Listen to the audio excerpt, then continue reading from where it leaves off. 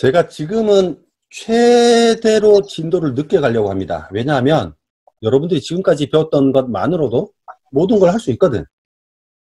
더 많이 배우면 더 좋은 기법으로 코딩을 할 수 있겠지만 지금까지 배운 것만 해도 여러분이 작성하실 수 있는 프로그램이 엄청 많아요. 그래서 지금부터는 가능하면 진도를 좀 천천히 나가려고 합니다. 어, 그래서 좀 천천히 나갈 때 여러분들이 많이 스스로 실습하는 경험을 가지셔야 돼요. 함수 배우고 있습니다. 함수. 펑션이죠. 아까 말했죠. 함수는 값을 모든 값을 반환한다. 프로그래머가 의도적으로 어떤 값을 반환하지 않더라도 값을 반환합니다. 자동적으로. 오늘 그걸 배우는 게 키포인트입니다. 음. 내장함수, 외장함수, 사용자 정의함수가 있네요. 내장함수와 외장함수의 다른 점은 외장함수는 임포트 네. 문으로 불러와야 된다는 거예요. 음. 파이썬에서 기본적으로 제공되는 함수지만 어, 안에 있나 밖에 있나라는 의미가 파이썬 인터프리터 밖에 있으면 import로 불러와야 되는 겁니다. 그래서 내가 만들지 않은 다른 사람이 만든 건데 종류는 내장 함수, 외장 함수 두 개가 있다. 외장 함수는 import 문장으로 import 키워드로 꼭 불러와야 된다. 오늘 하고 싶은 거는 사용자 정의 함수입니다. 내가 만드는 함수, 내가 어떤 게 필요해서 어떤 걸 만들어 볼 때 쓰면 되겠죠. 그걸 한번 보겠습니다. 그래서 쭉 스크롤해서 좀 내려가면 설명이 나오는데요.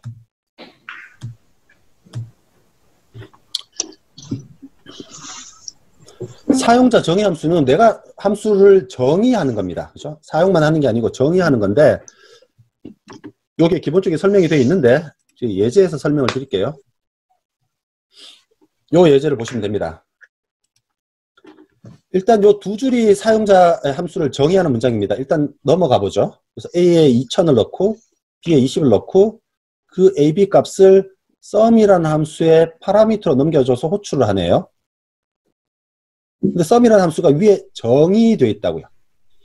정의하다 영어로 뭐예요? 정의하다. define. 어, define. define. 그리고 명사로 definition이니까 앞에 def가 있죠. 그래서 함수 정의할 때는 앞에 키워드로 def를 붙여요. 그래서 def 다음에 내가 지은 함수 이름 그리고 괄호 안에 이 함수가 받아들일 파라미터 두 개고 이름은 ab라고 부르겠다고 하는 겁니다. 이 이름들은 자기가 다 정의하는 거예요. 아무렇게나. 그리고 콜론이 옵니다. 콜론이 왔으니까 뒤에 indentation이 있어야겠죠. 그리고 함수의 body가 있는데 이 함수는 아무 일도 안 하고 두 값을 더해서 반환하는 함수예요. Return은 함수의 끝을 알리면서 어떤 값을 반환할 때 쓰는 겁니다. 그러면 sum ab라고 호출하면 2020이 들어오니까 c는 2020을 받겠죠. 2000과 20을 리턴 받았으니까. 그래서 c를 출력하면 2020이 나오는 겁니다. 음. 혹시 여기서 질문 있나요?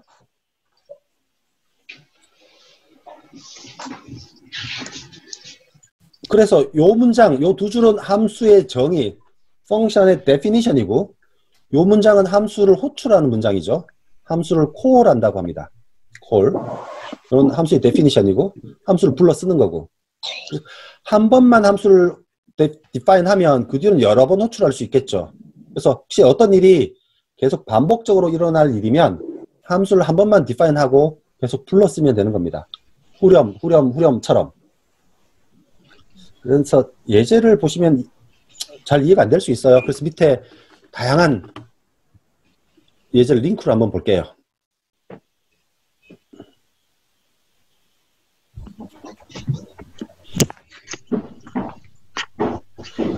자, 봅니다. 함수를 정의하는 법.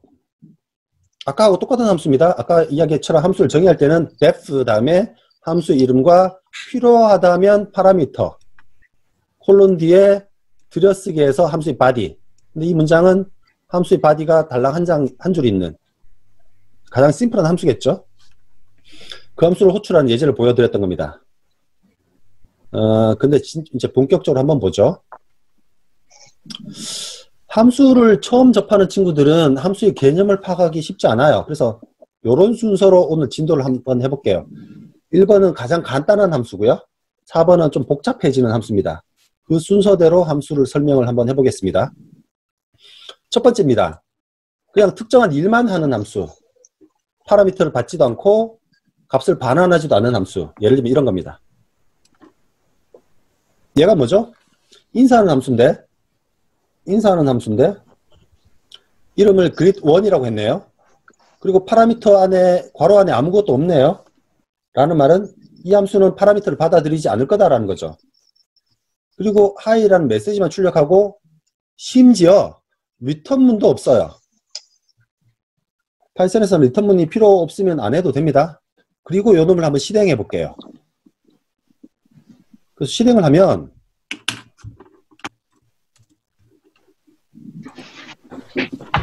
하이라고 출력됐죠. 네. 얘들아 대답 좀 해줘. 네. 네. 네. 이렇게 세 번 호출하면 세 번 출력되겠죠. 네. 뭐 네. 이런 거라고요. 그래서 이 함수는 아무 일도 안 하죠. 그냥 프린트문 하나만 실행합니다. 그래서 가장 간단한 함수. 이 함수는 뭐가 다른가요? 리턴이 있어요. 안에 아무 일도 안 하고 그냥 hello라는 문자열만 리턴하죠. 그래서 프린트문 네, 음. 안에서 greet2를 호출하면 호출하면 hello가 출력되는데 이거는 greet2가 출력한 게 아니고 프린트 함수가 호출한 거죠. 출력한 거죠. 네. 음. 네. 그러면 greet2라고 하면, 하면 어떻게 될까요? 이렇게 하면 여기서 이게 hello가 출력된 거는 아까하고 똑같은 거예요. 가장 마지막 문장이라서 출력된 거라고요. 음. 네. 아시겠죠? 네. 그냥 네. 이렇게만 하면 출력되는 이유는 요 문장이 가장 마지막 문장이어서 출력된 거라고요. 음. 아까 네. 우리 숙제에서 봤던 예제입니다. 요 함수는요. 요 그립 3은 파라미터를 출력하는 함수네요. 아까와 똑같은 함수입니다. 이렇게 되면 하이가 출력되겠죠. 음. 얘는요. 받은 값을 뭔가 좀 다른 값하고 같이 출력을 하네요. 그러니까 파라미터를 받았으면 파라미터 안에서 마음대로 쓸 수 있으니까. 그래서 만약에 그리드 3의 2라고 하면 하이라는 값이 하이라는 값이 여기 전달돼서 you said high라고 이렇게 출력을 하는 거라고요. 그죠? 네. 대답이 없는 이유가 너무 쉬워서 그런가? 아니면 이해가 안 돼서 그런가? 이 예제가 아까 봤던 예제입니다. 썸이라는 함수 또 선언하고요. 썸이라는 함수는 두 값을 반환하는 함수입니다. 더한 값을. 그래서 썸 1, 2라고 하면 C에는 3이 들어가겠죠. 그래서 3이 출력될 거고요. 썸 2, 4라고 하면 6이 출력되겠죠. 예, 그건 뭐 아까 했던 거니까. 지금부터입니다. 리턴문이 없는 함수도 있어요. 그런데 제가 아까 뭐라고 했나요? 파이썬에서는 모든 함수는 값을 반환한다. 반환한다. 리턴문이 없을 때도 반환한다. 무조건. 그 이유가 이렇게 쭉 있습니다. 빨간색 comment로. 아, 아마 읽어도 이해 안 되실 겁니다. 그렇지만 각자 좀 읽어보세요. 굉장히 중요한 내용이에요. 근데 지금은 몰라도 되는 내용입니다만 지금 좀 이해를 미리 해두면 향후에 쉽습니다. 그래서 요걸 한번 보죠. 그리드 4라는 함수는 반환 리턴문이 없죠. 네. 근데 네. 그리, 리턴 문장은 있는데 리턴하는 값이 없죠. 네. 네. 이걸 한번 실행을 해볼게요. 그 첫 번째, greet 4를 실행해 봤어요. 그러니까 greet 4라는 함수를 실행하면 이게 실행될 거니까 hi가 출력되겠죠. 그래서 hi가 네. 출력되었습니다. 그리고 그놈을 프린트하라고 했어요. greet 4의 출력 결과를 프린트하는 거죠. 뭐가 출력됐나요? none. 네. none이라는 값이 출력돼요. none이라는 데이터 타입이 있는데 none이라는 데이터 타입은 값이 none이라는 거 값 하나밖에 없어요. 특이한 놈입니다. 그래서 프린트문이 여기 없기 때문에 파이썬에서는 리턴문이 없으니까 파이썬 인터프리터는 리턴문이 없는 함수는 무조건 none을 리턴하게 돼 있어요. 그래서 이, 이 함수하고 역할은 똑같다고. 음. 이 문장이 있든 없든 무조건 리턴을 none을 한다고.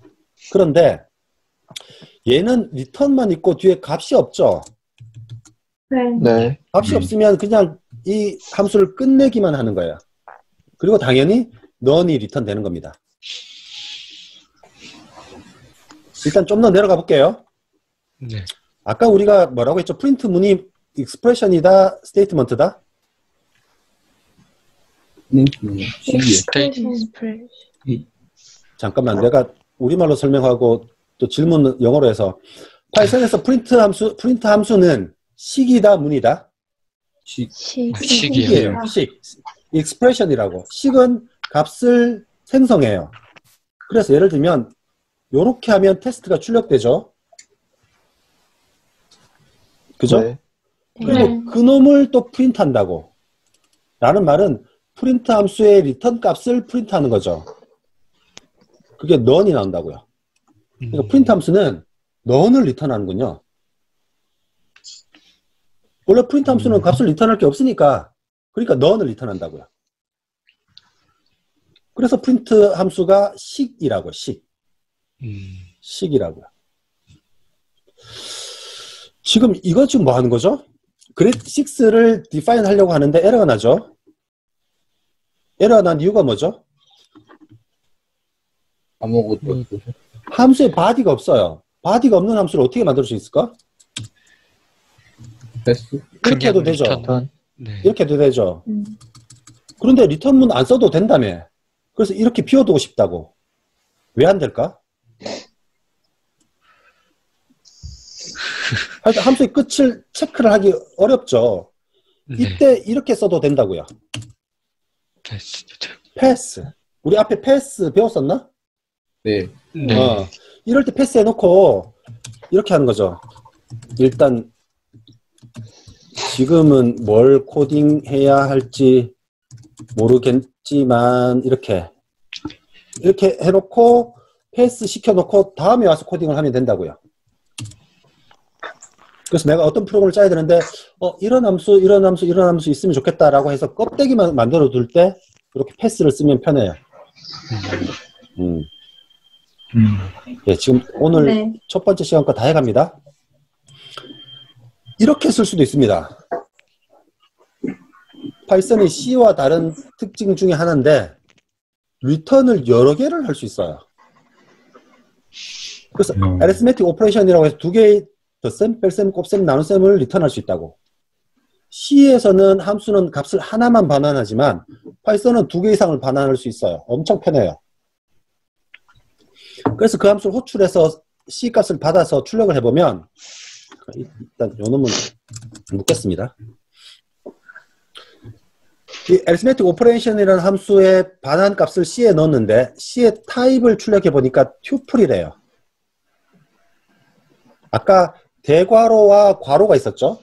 괄호로 네. 묶인 네. 여러 개를 튜플이라고 한다고 했는데 함수에서 값을 여러 개를 반환하면 튜플이라는 자료형으로 반환을 해줘요.